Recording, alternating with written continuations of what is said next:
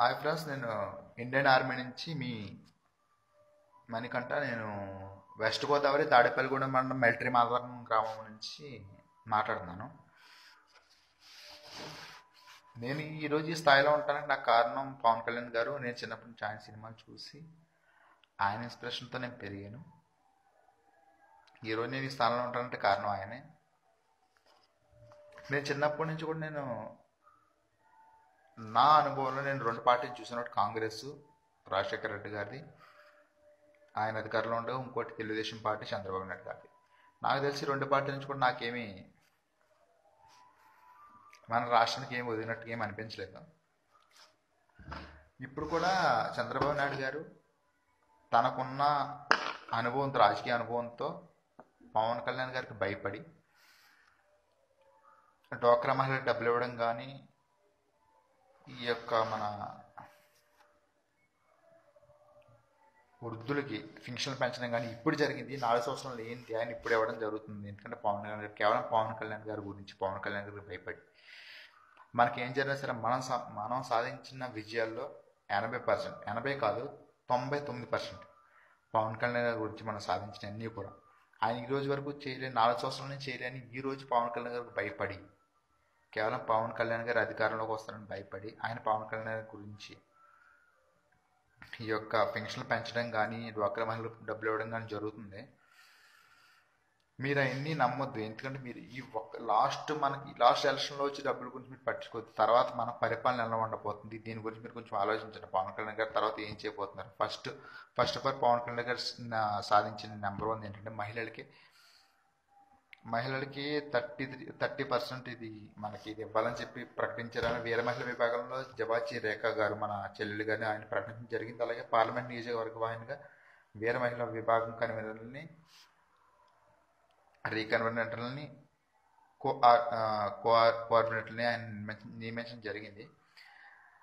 రాజకీయ వ్యవహార కమిటీగా సుజాత సుజాత పాండే గారిని శ్రీకాకుళం పలాస నుంచి మన చెల్లెలు గారిని పవన్ కళ్యాణ్ గారిని నియమించడం జరిగింది. అలాగే విధానాల సంక్షేమ కార్యక్రమాలు రూపకల్పన వాటి అమలు చేయవలసిన ప్రక్రియ విభాగంలో చైర్మన్ డాక్టర్ యామని గారిని మన అన్నయ్య గారిని నియమించడం జరిగింది. ప్రచార ప్రచార చైర్మన్ కమిటీ ప్రచార కమిటీ చైర్మన్గా ఉషశ్రీ పెద్దిశెట్టి గారిని పవన్ కళ్యాణ్ గారిని నిర్మించడం జరిగింది. ఆవిడ మా ఆవిడ ఫస్ట్ బ్యాడ్మింటన్ ప్లేయర్ ఆవిడ. ఆయన కూడా ఆవిడ కూడా నిర్మించడం జరిగింది. అలాగే పవన్ కళ్యాణ్ గారు చాలామంది మనం పేరు పేరు చెప్పుకోలేము చాలామంది ఆయన మహిళల విభాగంలో చాలామంది ఇలా మన జనసేన తరపు నుంచి తగిన అధికారులను వాళ్ళకి ఇవ్వడం జరిగింది. అలాగే మనం మనం ఇంకా అధికారంలోకి వస్తే మనం ఇంకా చాలా సాధించగలం. ఒకసారి ఆయన నమ్మండి. ఇంకోటి ఏంటంటే ఈరోజు జరిగిన మన పార్టీ ఆఫీస్పై జరిగిన దాన్ని మీరు చూసే ఉంటారు ఆల్రెడీ యూట్యూబ్లో చూసే ఉంటారు. బిఎస్ఎస్ అంతా పగలకొట్టడం మనకు అర్థమైపోతుంది ఆల్రెడీ. మన విజయాన్ని మన నా- మన యొక్క మనకు భయపడి మన విద్య మన విజయాన్ని వాళ్ళకి ఇండైరెక్ట్గా నలుగురు తెలియజేస్తున్నారు అలా భయపడి. ఆల్రెడీ మనం ఎనభై పర్సెంట్ విజయం సాధించేసాం ఆల్రెడీ. ఇంకో ఇరవై పర్సెంట్ మనం చేయవలసింది ఏంటి అంటే యువకులు అందరూ కలిసి మన వాళ్ళకి మన తల్లిదండ్రులకి మన వెనకాల వాళ్ళకి మనం చెప్పుకుని మనం ఓటేయించడమే మన బాధ్యత. కంపల్సరీ నేను చెప్తున్నాను నేను ఇండియన్ ఆర్మీ నుంచి భారతదేశానికి ఎంత సేవ చేయాలనుకుంటున్నాను. ఫస్ట్ ఆఫ్ ఆల్ మన స్టేట్కి నేను అంత సేవ చేయాలనుకుంటున్నాను ఆ సేవ నా నా తరపు నుంచి కాకపోయినా సరే జనసేన తరపు నుంచి హండ్రెడ్ పర్సెంట్ అవుతుంది. అది మీరు గుర్తుపెట్టుకోండి.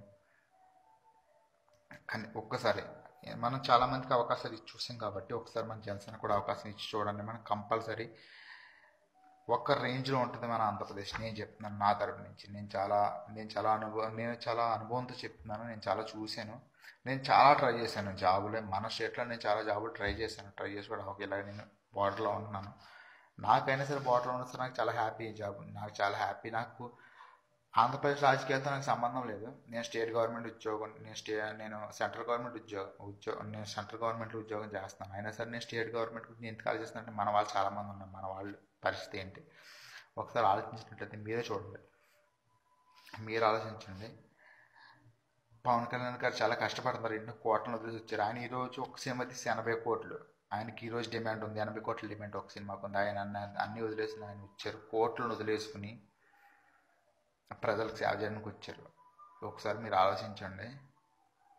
ఆయనకి సపోర్ట్ చేయండి. ఇంకా మనకి ఎంతో టైం లేదు. జనసైనికులందరూ కూడా మీరు జనసేన డీపీలు పెట్టడం జనసేన స్టాటస్ పెట్టడం కాదు. ఆయన గురించి ప్రచారాలు చేయడం. మన సింబల్ ఏంటంటే గాజు గ్లాస్. గాజు గ్లాస్ మన సింబల్. అది చాలామంది తెలియదు. అది దా అందరికి తెలియజేయండి అది గాజు గ్లాస్ సింబల్ని. మనం గాజు గ్లాస్ సింబల్ మనం ఓటేయాలని చెప్పి అందరికి తెలియజేయండి. అదే నేను చెప్పాలనుకున్నాను. గాజుల సింపని అందరికీ అందరికి తెలియజేయండి. మన జనసేన మన జనసేన ఎలాగైనా మనం గెలిపించుకోవాలి. పవన్ కళ్యాణ్ గారు ఎన్నో తనకున్న లైఫ్ని వదిలేసుకుని మన గురించి చాలా కష్టపడుతున్నారు ఆయన ఆయన్ని మనం అలాగనే గెలిపించుకోవాలి. ఇదే నేను చెప్పాలనుకున్నాను ఈరోజు లైవ్ ఇవ్వాలనుకున్నాను. సారీ ఫ్రెండ్స్ నేను ఇంకా చాలా చెప్పాలనుకున్నా నాకు డ్యూటీ టైం అవుతుంది నేను వెళ్ళాలి డ్యూటీకి. నేను రేపటి లైవ్లో మీకు మిగతా వివరాలు చెప్తాను. అలాగే పవన్ కళ్యాణ్ గారు ఇచ్చిన మహిళలందరూ పవన్ కళ్యాణ్ గారు తమ పార్టీలో మహిళలకు ఇచ్చిన గౌరవం మహిళలకు ఇచ్చిన ఇదిని తను నిలబెట్టుకుని మహిళలు కూడా చాలా కష్టపడి పవన్ కళ్యాణ్ పవన్ కళ్యాణ్ గారి తరఫున చేయాలని నేను కోరుకుంటున్నాను. అలాగే నా ఓటు కూడా జనసేనకి కంపల్సరీ. నేను ఇప్పటిదాకా నేను ఫస్ట్ ఈ సంవత్సరం ఫస్ట్ సెలవు నేను కట్ చేయలేదు. ఫస్ట్ నేను సెలవుకి వచ్చింది అంటే ఇప్పుడు ఏంటంటే ఎలక్షన్కి వస్తాను పక్కగా. నేను ఎలక్షన్ డ్యూటీస్కి వెళ్తాను ఎలక్షన్ డ్యూటీస్కి వెళ్తాను కానీ నాకు ఎలక్షన్ నాకు కావాల్సింది ఎలక్షన్ డ్యూటీ కాదు. పవన్ కళ్యాణ్ గారు కోటేయడం కావాలి. కంపల్సరీ కూడా నేను సెలవు వస్తాను పవన్ కళ్యాణ్ గారు కోటేస్తాను జై జయసేన జై హింద్. జై ఇండియన్ ఆర్మీ. జై హింద్. ఏంటండి? వీడియో నచ్చిందా? అయితే ఓ లైక్ వేసుకోండి లేదంటే ఓ కామెంట్ చేయండి. ఎప్పటికప్పుడు మా వీడియోస్ చూడాలంటే సబ్స్క్రైబ్ చేసుకోండి.